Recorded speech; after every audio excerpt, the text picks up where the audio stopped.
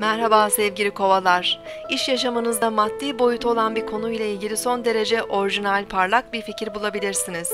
Sorumluluk alanınız finansman olmasa bile bu fikri uygun ortamlarda ilgili kişilere aktarın.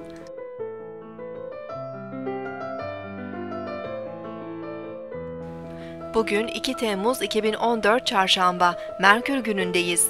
Günün ilk saatinde Başak Burcu'na geçen ay çalışkan, titiz ve düzenli enerjiler veriyor. Bugün iş, hizmet, çalışma, sağlık konuları ön planda olabilir.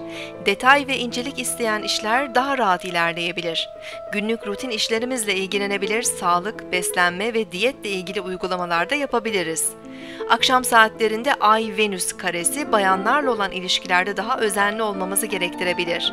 Duygusal beklentilerin artması ve aşırı eleştirel yaklaşımlar ilişkilerde sorun çıkarabilir.